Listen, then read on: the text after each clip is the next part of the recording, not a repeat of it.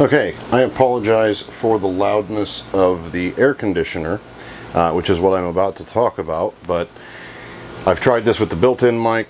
The lavalier is better, even though there's a lot of background sound, so hopefully this video is usable. Otherwise, you'll never see it. Uh, so if you're seeing it, I've decided it was usable enough, which could just be laziness, and uh, if so, I apologize for the terrible audio. Anyway, the trailer has this massive AC unit, which somebody had commented on my last video asking how much power it required because there was no way it could use a 30 amp. Well, it doesn't use all 30 amps for sure. That would be ridiculous. But it does draw 2300 watts on startup. Um, and then it draws around 1300 running. So that puts it over the 20 amp on startup and it puts it over the 15 amp on running, which means you gotta have a 30 amp in order to run it or you're gonna pop breakers. I do, however, want to be able to keep it cool or cool it off in here when I am prepping it for a trip. So I decided to get a, uh, a smaller unit to, add, to, to just put in here so that I could cool it down enough to uh, to work in here and not be completely uncomfortable. And that brings me to that unit in there, which I will get closer to for you so that you can see. Um, sorry for all the banging, but that is the, uh, the unit sitting on top of a, a bucket presently next to the sink in there, keeping it nice and cool in here. That unit I got for $300 at Lowe's um, and it is presently using 700 watts running and it actually soft starts on its own. So I can probably use it with the inverter because it already has a soft start feature. My camera's not level, which is driving me slightly crazy. There we go. Anyway, so what I'm getting ready to do now, that works really well. It is presently 82 degrees in here. It's actually a little cooler outside. Reason being, we're getting a lot of heat through the front window and through the skylight in here. I can actually open this curtain and feel the temperature difference when I initially open it. Uh, so what I'm going to do is, actually, you know, that's not really terrible. I'm still going to do it. Uh, and I definitely want to do it in the front window and that's, I'm going to cut some of this to install in there uh, to just sort of keep some of the light out. And this has a, uh, a light insulate, insulative quality to it.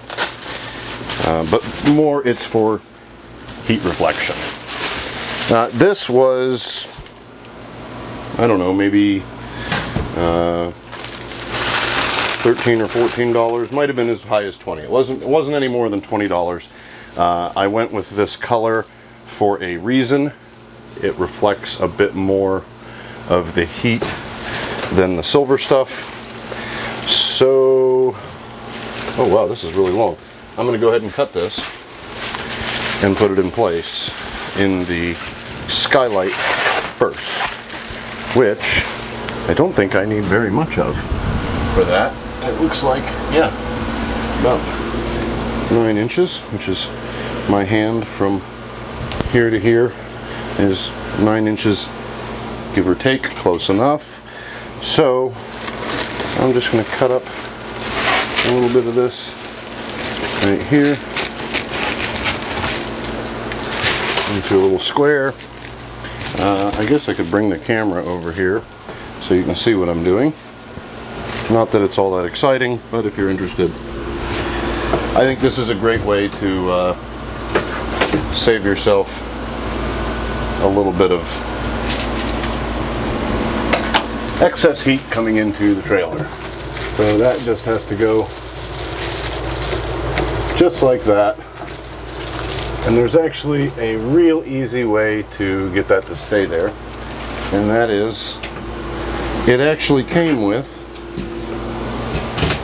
little, oh boy, this is a, uh, it's very difficult to maneuver the tripod through here.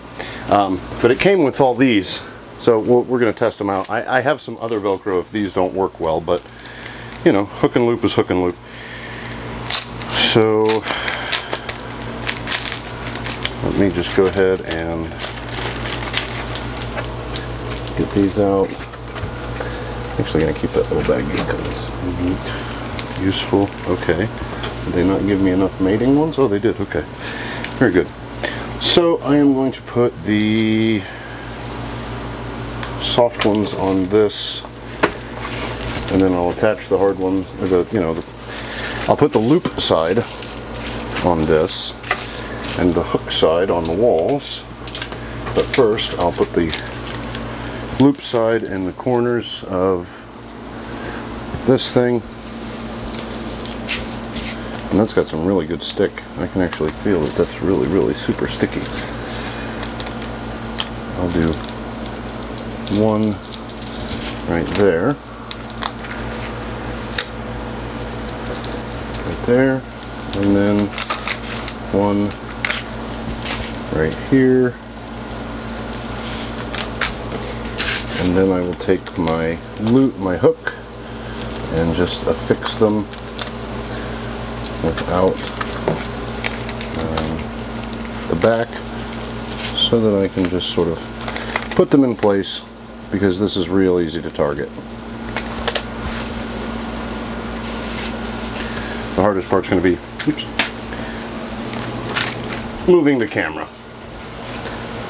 Uh, I do not have a camera person, however, my wife has volunteered to be camera person in the future, so hopefully there will be less of this kind of strange, terrible circumnavigation problem. Uh, which, there we go. Okay, so I want the part with the three to be on this side because it's higher. So I'm going to do that first.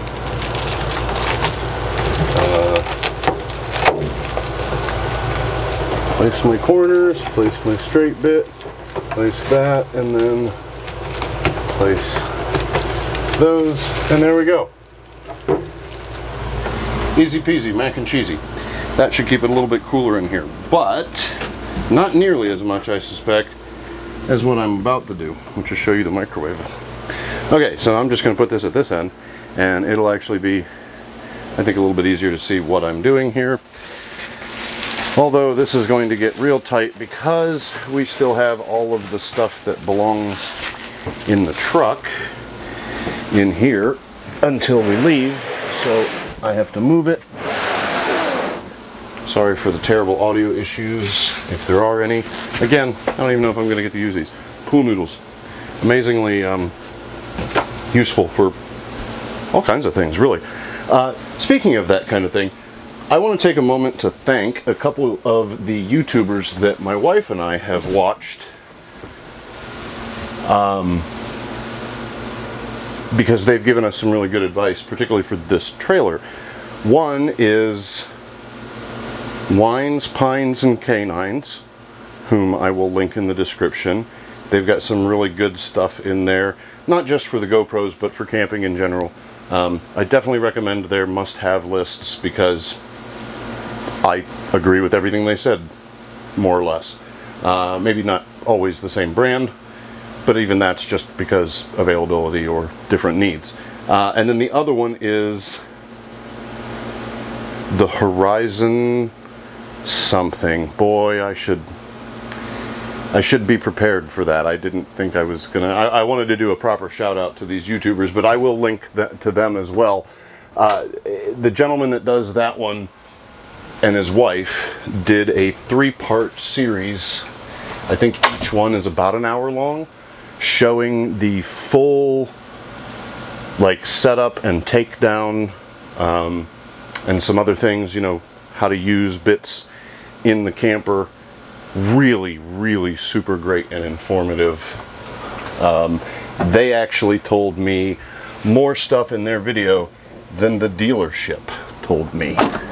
So I would, I, and I feel really bad because they're, I forgot their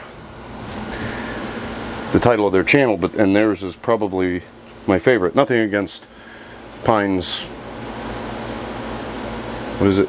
Wines, Pines, and Canines, but really, they did a top-notch job. Um, both of them did. But to do to do three hours uh, or more of video and to be as concise as they were um, and thorough, like he really did a good job. I really appreciated those videos. I'm gonna take my shoes off here before I climb up on the bed. Uh, and I should probably get the scissors.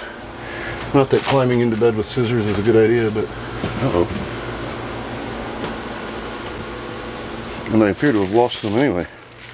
Are they folded up in here? Uh-oh. I don't know what happened to my scissors. I just had them. I thought that I would... Oh, they're in the bathroom, which is behind the camera, which is behind this tote. So, um, second pair of scissors. Okay, now I'm gonna just crawl up here and for right now what I was whoa okay. Didn't know that would happen so that's new. Oh my. Hmm. Don't do that. I'm gonna bring this up I'm gonna pull these cushions out of here. Oh they're warm. Oh they're good and warm. Oh my there's quite a bit of heat coming in through there. Okay. Goody goody.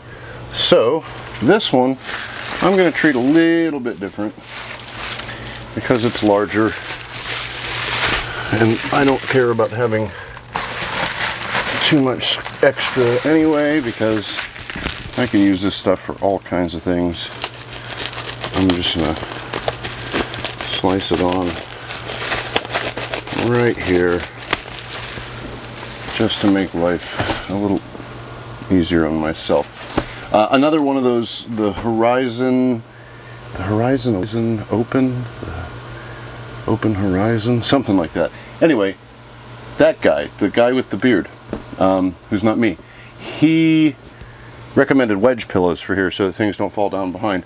And I have to say, this is the second time that I've had this open and had anything on the bed. And it is also the second time that I have dropped something down that gap. So that, uh, that gentleman's advice is absolutely invaluable. And I think that this just will fit just so. Now, I am not going to bother velcroing this one because I'm just going to stick these cushions back in. Um, because this is a really great place, I think, to store them. Um, and also sort of protect the screen from bopping around between the mattress and the window. I mean, I guess I could just leave it open, but um, I just put it just like that, just enough to to secure it, uh, and then fold up the bed and I'm done. So that's it. Hopefully that'll keep it a bit cooler in here. I may make cutouts for the side windows here that will just slip in between the window and the screen. Um, but maybe I don't even need to do that. I'm going to watch the temperature in here uh, through my home assistant. So I have a I have one of my Govees that was normally in the truck so I could see how hot it was in the truck. I brought that Govee in here. It's sitting up there. You probably saw it in the last video if you watched it. Uh, I'm also building a new device. I'll be doing a video in the trailer on a new device using a Raspberry Pi to replace, or rather be better than, the um, LevelMate Pro, which runs I think about 170 or 180 dollars on its cheapest.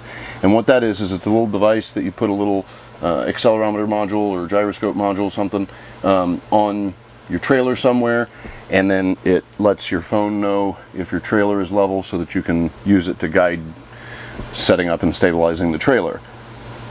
I can do better for about 70 or 80 dollars with a Raspberry Pi and have even more metrics than just roll pitch and yaw And I don't even know if that one gives you roll, pitch, and yaw. It might just give you roll and pitch. But, which is fine. Yaw isn't especially useful unless, you know, unless you're moving, you don't know it anyway. But, the device that I have has a gyroscope, an accelerometer, a magnetometer, um, a barometer, color light sensor, or, you know, light color sensor, um, an ADC for use with other sensors, other, you know, it's got like four expansion sensor ports. It's got all kinds of stuff. So I'm gonna do, I'm gonna do a thing with that and make a, a trailer helper with a Raspberry Pi that doesn't suck and is pretty cheap. Um, they're doing construction outside. I don't know if you can hear that. But yeah, so that's it for this video. Uh, I hope that you enjoyed it as short and sort of random and sporadic as it was. Uh, thanks for listening to me ramble, and I do hope you'll join me for future videos as I continue exploring, building, um, and traveling with smarter circuits.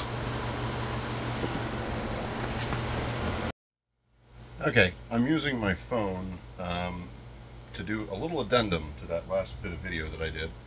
Hopefully the audio is better. But I want to show just how useful these blinds aren't by showing you what they look like through the thermal camera. As you can see, they are quite not great.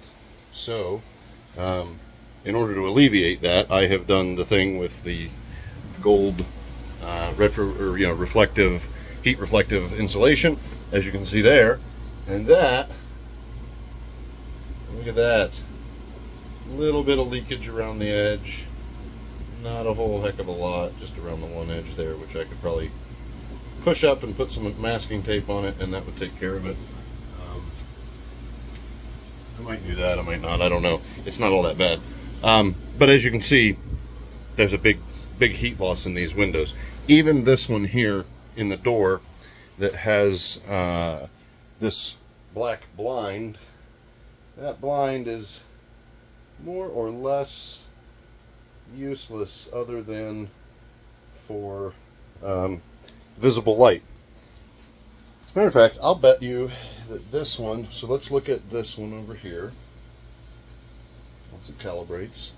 Uh, that one's not great, but if we go over here to this one, those are better what do you know?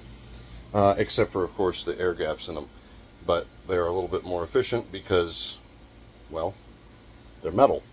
So, uh, I guess I am actually going to be cutting out more of these and putting them into windows to get it even colder in here. So, I'm going to go do that. I'm not going to record it because you saw me do it once already.